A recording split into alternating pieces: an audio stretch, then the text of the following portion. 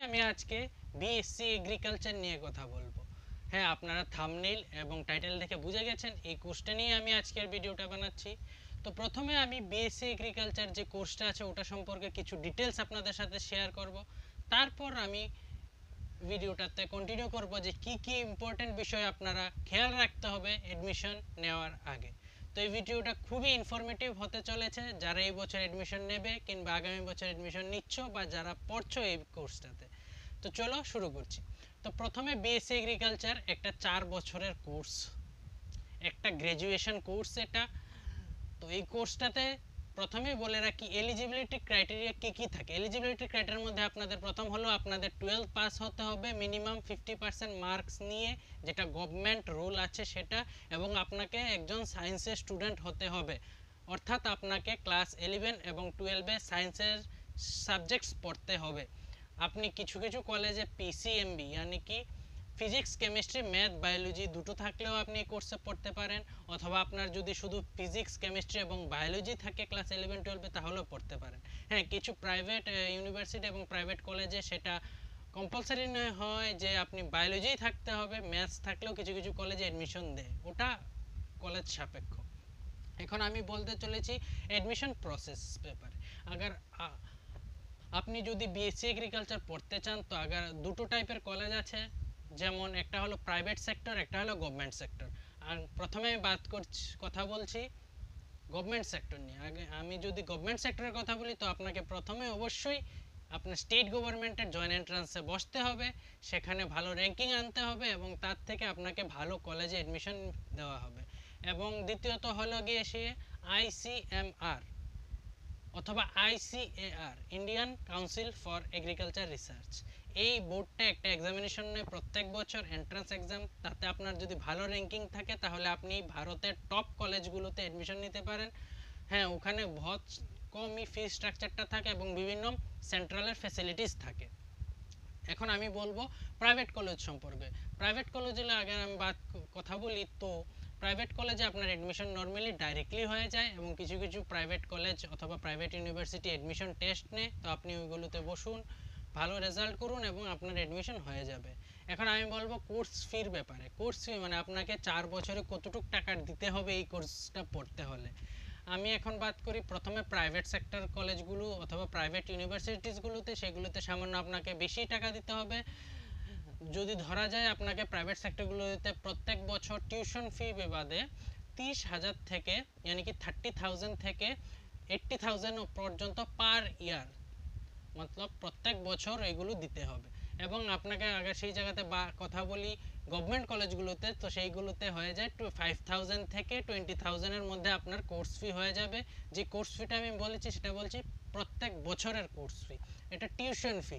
তার সাথে extra curriculum অনেকগুলো ফিস থাকে এগুলো আপনি অ্যাডমিশনের সময় ঠিকভাবে দেখে নেবেন। এখন আমি বলছি সাবজেক্ট কী কী পড়ানো হয় বিএসসি এগ্রিকালচারে? তো যেহেতু আমি এই কোর্সটা আমি নিজে করেছি, দেরাদুন থেকে, তো আমি খুব ভালো বলতে পারি এই সাবজেক্টে কমপক্ষে আপনাকে সিক্সটি ফোর মানে চৌষট্টিটা সাবজেক্ট আপনাকে পড়ানো হবে এবং আপনি যদি ভবিষ্যতে চান, এটা নিয়ে আরও পড়াশোনা করতে মানে মাস্টার ডিগ্রি করতে, তো আপনি চৌষট্টিটা সাবজেক্টের মধ্যে যে কোনো একটা সাবজেক্টে মাস্টার ডিগ্রি করতে পারেন আপনার চয়েস অনুযায়ী এবং আমি এটাও বলে রাখি বিএসসি এগ্রিকালচার পড়ার পর আপনাকে অনেক ভালো কেরিয়ার অপরচুনিটি আপনি পেয়ে যাবেন, অনেক ভালো স্কোপ পেয়ে যাবেন প্রাইভেট সেক্টরে আপনি ব্যাঙ্কিং সেক্টরে যেতে পারেন, আপনি এগ্রিকালচার সেক্টরে কন্টিনিউ করতে পারেন, সেটা আপনার বিষয়। তো এটা হলো একটা জিস্ট এটা হলো একটা সামারি বিএসসি এগ্রিকালচার কোর্সটা নিয়ে।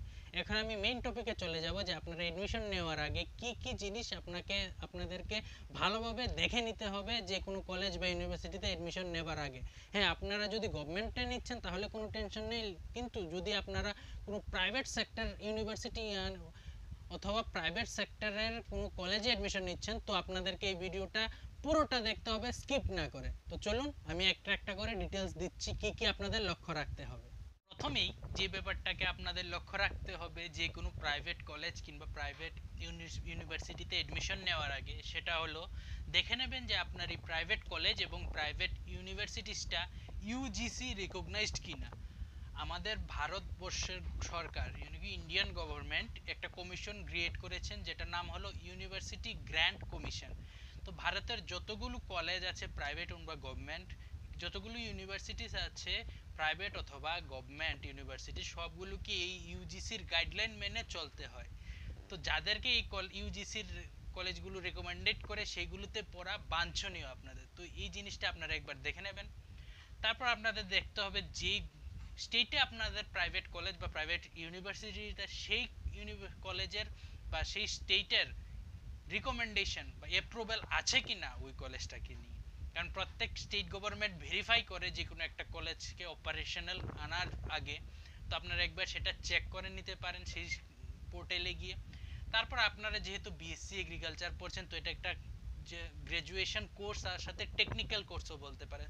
তো আপনারা দেখে নেবেন যে আপনাদের কলেজ বা ইউনিভার্সিটিসটা এআইসিটিই টেকনিক্যাল ডিগ্রির জন্য এটা কম্পালসারি এআইসিটিই অ্যাপ্রুভড কিনা। তারপর আমি বলব নেক্সট হলো গিয়ে সেটা সবচেয়ে বেশি যেটা র্যাঙ্কিং এর দিক থেকে যে কতটুকু আপনাদের কলেজটা ফ্রুটফুল আপনাকে পড়ানোর জন্য। তো তার জন্য আমাদের আছে NAAC N double A C NAAC আপনারা প্রায়ই দেখবেন যে বিভিন্ন কলেজ বা ইউনিভার্সিটিজ অ্যাডভার্টাইজ করে NAAC grade A grade B college তো আপনারা সেটা কি, সেটা হলো national assessment and accreditation council তারা র্যাঙ্কিং করে কতটুকু কোয়ালিটি প্রোভাইড করতে পারে প্রাইভেট কলেজ বা প্রাইভেট ইউনিভার্সিটিসগুলো আপনাদেরকে। তো আপনারা সেটা দেখবেন এবং সবথেকে গুরুত্বপূর্ণ, আপনারা যে স্টেট থেকে বিলং করেন, সেই স্টেটে আপনারা যে অন্য যদি আপনারা অন্য স্টেটের কোনো কলেজে ভর্তি হতে যাচ্ছেন বা আপনাদের স্টেটেরই হচ্ছেন, তো সেই আপনার নিজের স্টেটে কি সেই কলেজগুলো রেজিস্টার্ড আছে কিনা, সেগুলো আপনারা দেখতে পারবেন, আপনাদের প্রত্যেকের স্টেটের হায়ার এডুকেশন ডিপার্টমেন্টে গিয়ে জান, জেনে নিন। এবং তার সাথে বলে রাখি, এইটা খুব ইম্পর্টেন্ট কারণ আপনারা যখনই নিজের স্টেটে নিজেরা স্টেটে অ্যাপ্লাই করবেন গভর্নমেন্ট জব বা গভর্নমেন্ট ভ্যাকেন্সিসগুলো যদি আপনাদের সেই কলেজগুলো অ্যাপ্রুভড না থাকে, তো আপনারা অটোমেটিক্যালি রিজেক্টেড হয়ে যাবেন। তো আপনারা সেই ম্যাটারগুলো ভালো করে দেখবেন। ঠিক আছে?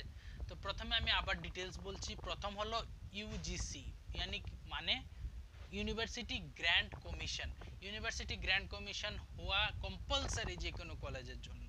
ইউনিভার্সিটি গ্র্যান্ড কমিশনে রেজিস্টার্ড হওয়া কম্পালসারি আপনারা ইউনিভার্সিটি গ্র্যান্ড কমিশনের ওয়েবসাইটে গিয়ে চেক করতে পারেন আপনাদের কলেজ বা ইউনিভার্সিটিটা রেজিস্টার্ড আছে কিনা। তারপর আপনারা যদি কোনো স্টেট অন্য স্টেটে যান, তো সেই স্টেটের গভর্নমেন্ট অ্যাপ্রুভ করছে কিনা সেই কলেজ বা ইউনিভার্সিটিটাকে এবং তারপর আপনারা যদি টেকনিক্যাল ডিগ্রি করছেন, তাহলে এআইসিটিই রিকমেন্ডেশন আছে কিনা?